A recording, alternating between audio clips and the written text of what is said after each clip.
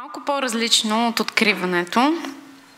А, сега всъщност ще ви кажа какво е да си лъгбата и човек в България. Да си лъгбата и човек в България е борба да докажеш, че съществуваш, че те има и че имаш право. В момента, в който се осъзнаеш като принадлежащ на тази общност, започва борбата срещу отхвърлянето от страна на съученици, приятели, учители, родители. След това започва отхвърлянето от страна на обществото. телевизия, филми, улица, всички са срещу теб и твоето съществуване. След това се влюбваш и искаш да споделиш живота си с човека, когато обичаш и държавата ти казва, че нямаш право да направиш това. Дори когато умреш,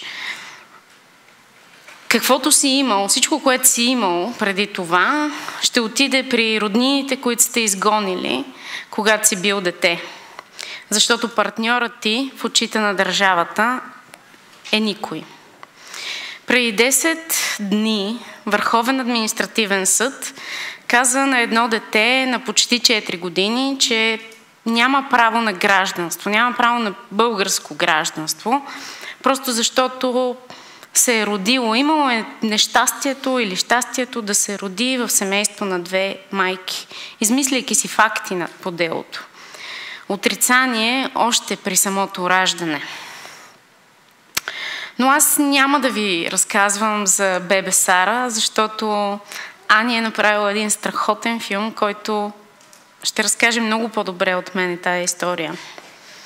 Аз ще ви разкажа за едно друго отрицание.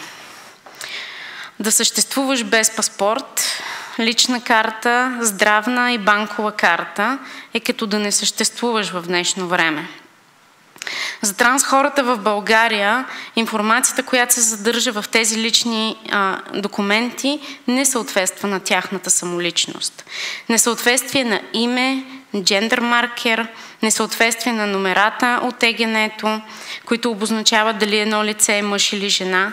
Това създава предпоставки за дискомфорт, дискриминация, а в, определени случаи води и до насилие. Често транс хората в България са отпращани от банки, публични институции, а в ужасно голям процент от случаите не могат да преминат дори граница, защото личните документи не съвпадат с физическия а, облик на лицето, което съответно води до, до а, претърсване, оглед на тяло, а, съмняване от а, правоохранителните органи за кражба на самоличност и може да доведе дори до арест. Да бъдеш транс човек в България крие много неизвестни и създава несигурност. Да ти бъде издаден грешен акт за раждане и да не ти позволят да бъде коригиран той е тотална липса на респект, на нечовешко отношение и непропорционална дискриминация спрямо транс хората в България.